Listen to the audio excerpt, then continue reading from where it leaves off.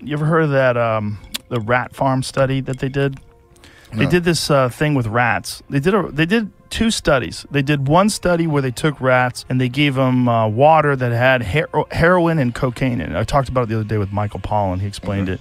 And this study showed that the rats when you gave when you lock them up in this little cage and you give them water that has heroin or cocaine in it that they don't even eat they don't breathe they don't do anything. They just keep hitting the cocaine and keep keep hitting the heroin and they wind up doing that until they die. And so this other guy came along and said okay but this is a completely unnatural environment that these animals are living in. They're living in a cage they're getting stared at all the time. So he decided to make a really big cage like the size of a room and he filled it up with trees and it's it's, a, it's called a rat park study.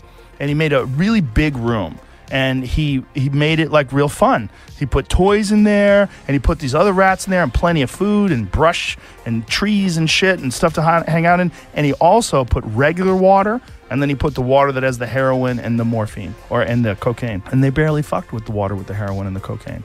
They touched it a little bit and went back to work. And they went and played and hung out. And sometimes some rats did it more than others, but none of them just did it until they died, and none of them did it and didn't breed and didn't like hang out and eat food. They were living in an unnatural environment where they're under, under extreme stress. Like imagine you you don't have a language, right? You're an animal that's supposed to be living free, and then all of a sudden you're in this weird box under fluorescent lights, and you got a cage, and then the only pleasure is this cocaine, and so you just Yeah. you just keep hitting that cocaine because your life sucks.